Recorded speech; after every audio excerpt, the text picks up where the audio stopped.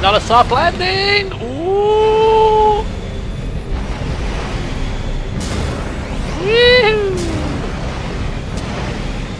Oh.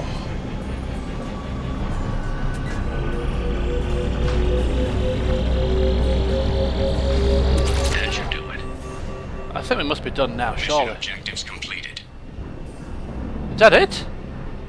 No, I don't want to end the mission. I, I want to jump around in my sh bloody ship here that I've just acquired. I like it. But if we must leave, then we must leave. Playtime's over.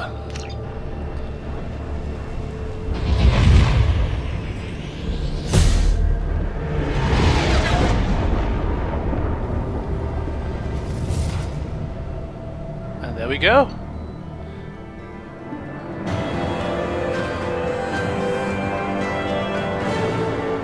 Found the wreckage of the freighter MSV Rosalie.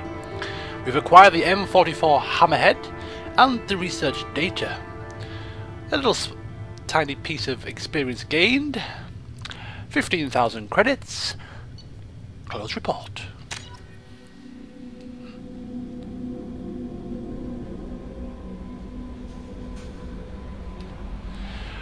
Alright. it remains to be seen if we can use that little uh, ship there in any future missions, but um, I'm doubting it. Only time will tell, I suppose. Okay, so whilst we're in this current cluster, I believe that there is um, another mission in here involving Zaeed in the fire system. So we're going to head over there now, whilst we're already over here. As well kill two birds with one stone, as I say. Jet across. Only half our fuel remains. Half fuel remaining. Thank you, EDI, for your diagnostic analysis. Ooh, purpley planet. Hito. While the ice mines of Vientel make a great deal of profit from ships passing through mass relay, the real money is made at Hito. As the only gas giant in the Faia gateway system, Hito is heavily developed by rival Helium-3 mining concerns. The world has three major and 26 minor moons, each of which is claimed by a different company. Those based on moons deeper into the gravity well tend to specialize on helium-3 extraction and refining, whilst those on the farther moon specialize in refueling services and shipment. The local economy is driven by black marketeering, backroom deals and cutthroat business. Each company attempts to sabotage its rivals' facilities whilst protecting their own moon. This has led to open corporate warfare three times in the last century. All the major mercenary groups have offices in the Hito planetary system, though the Blue Suns enjoy a home team advantage, shipping in cheap logistical supplies from Zorya.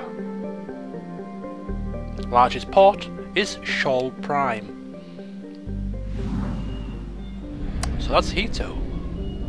Moving on to a little blippy thing here. Is this a planet or a rock? uh, Vientel is a dwarf planet. Vientel's large amounts of water have led to heavy development by water cracking industries seeking to turn the planet into hydrogen oxygen fuel for starship thrusters. The surface is blanketed with habitation modules, mining equipment, and cracking stations. Since the initial settlement of Ilium in the nearby Tasale system, the radius of Vientel has decreased by 2 kilometers, indicating removal of over 72,000 cubic kilometers of ice. Some groups are concerned that the rate of loss may cause instability in the remaining structure. Largest port? Kailios Station. And moving to another little blip. Emain. Small cratered rock. And that's about as much as we'd like to see about that.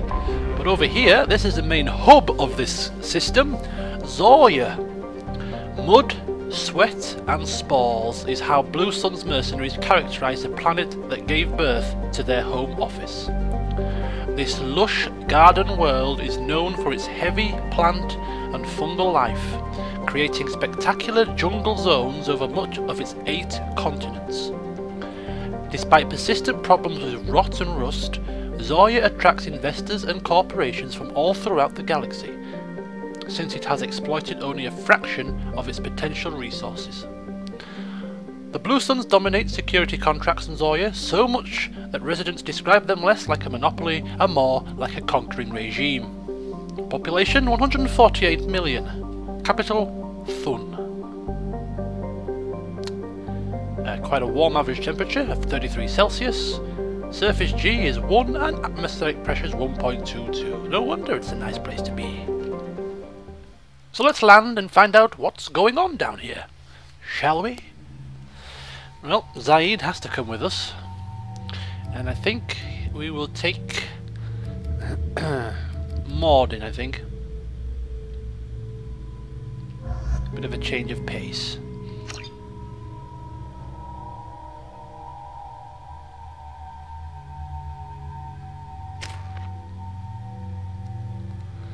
Okay, concussive shot, we'll get to level 2 for now. Disruptor ammo, mercenary veteran. Uh, there we go. Seems good to me. Uh, Mordin can have um, an extra point in Cryoblast. And Shepard, no points to spare.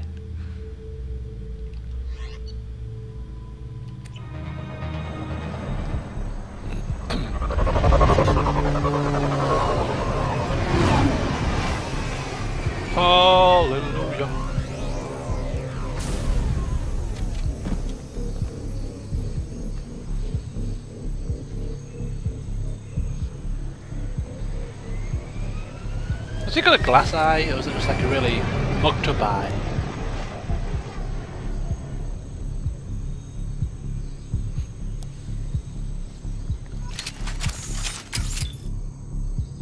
Okay, so here we are. Blue Sun's communications. Stay tight and look out for ambushes.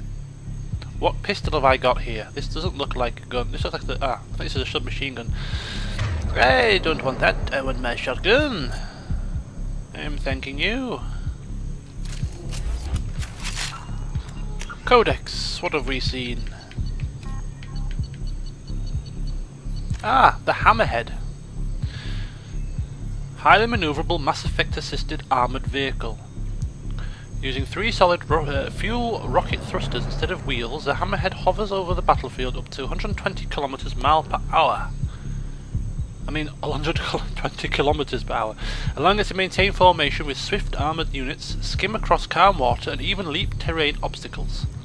Yep, we've seen how it can leap. Airtight interior, 360 degrees kinetic barriers, guided missile system.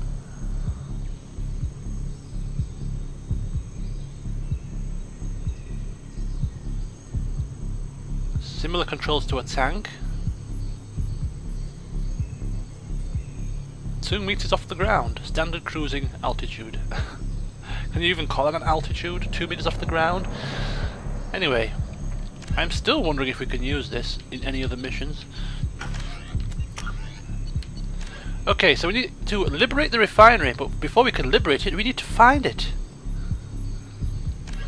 So we are basically liberating the workers from the nasty clutches of the Blue Suns. Ah, wait a second. Wait a second, look at this. Project Firewalkers opened up some new side missions. So apparently there is a volcano station there are some survey sites, and also there is some geth activity. So we can use the uh, Hammerhead, not for our main missions, but for further Project Firewalker missions. So we get to play it a bit later on, that's good. We'll do those another time. For now, we shall focus on liberating these uh, refinery workers. And stop fantasizing about playing with fancy toys.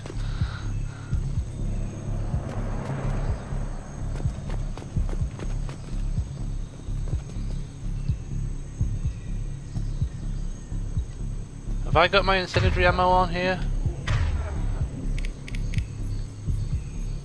Yeah, I do. Um, have you got disruptor ammo?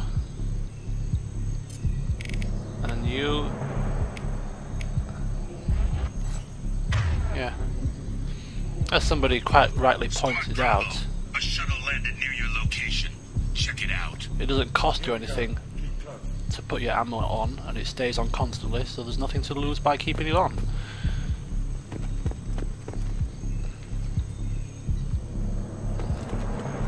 We have some kind of uh, scouting team heading to our location. It's fun and games are only seconds away.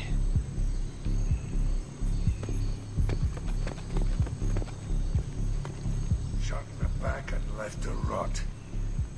That's definitely Vito's style. Let's push ahead. Vito. That's the name of the guy that this guy wants, uh, that Zaeed wants to uh, exact revenge upon. Whoa, whoa, whoa! Oh, look, them little monkey things. Remember those from Mass Effect 1? Yeah. I think it's down here. Command to Bravo. Take a position. Likely these people are not runaways. Oh! Monkey chasing something else. Like a rat or something. Like some kind of rat.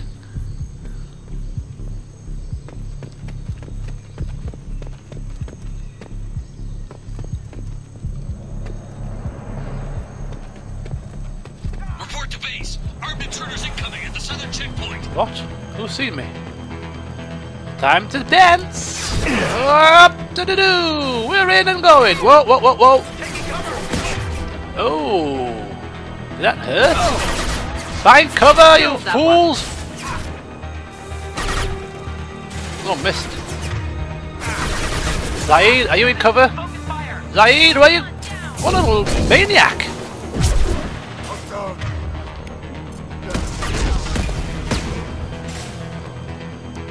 Cover, you silly... Oh, wrong person. Moving out of line of fire. Nice.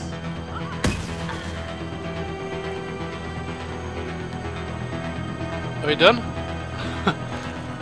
okay.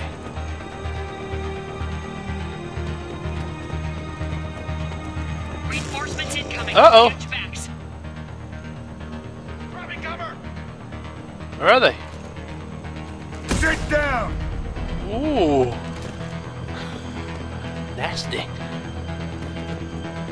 Oh, I can see something. I can see something. Here comes a, Heavy weapon. A down. mech.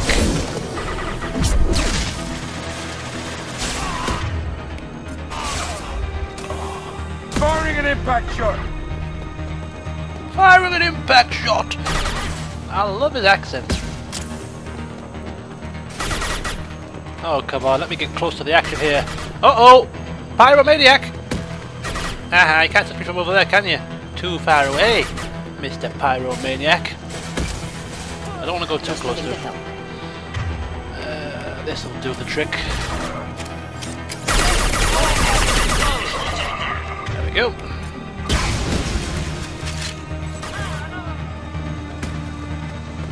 What are you doing? Get out of it! Oh! Yeah. Pull back indeed. Looks like you got yourself a, a bit of trouble, haven't you? Didn't expect that.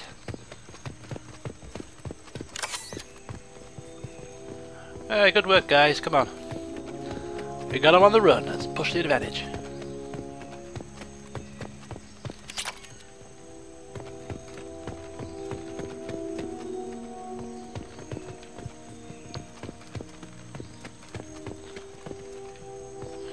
Sure we're not missing any uh, hidden items.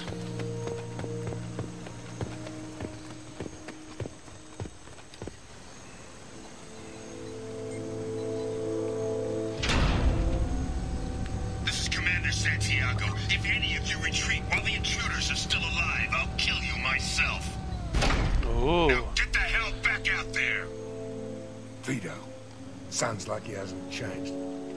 I get the feeling you have a past with this Vito. I knew he was a sadistic bastard back when we started the Blue Suns. The Suns only got meaner after he staged his little coup 20 years ago. So yeah, we have a past. Um, I couldn't help but notice something you just said then. You said, when we started the Blue Suns. Why didn't anyone tell me you founded the Blue Suns? Because it's not common knowledge. Vito wiped me out of the records. He ran the books, I led the men. Worked real well for a while. Then Vito decided to start hiring Batarians. Cheaper labor, he said. Goddamn terrorists, I said. Twenty years is a long time to hold a grudge. A grudge? Vito turned my men against me. He paid six of them to restrain me while he put a gun to my head and pulled the trigger. For 20 years, I've seen that bastard every time I closed my eyes, every time I sighted down on a target, every time I heard a gunshot. Don't you call that a goddamn grudge?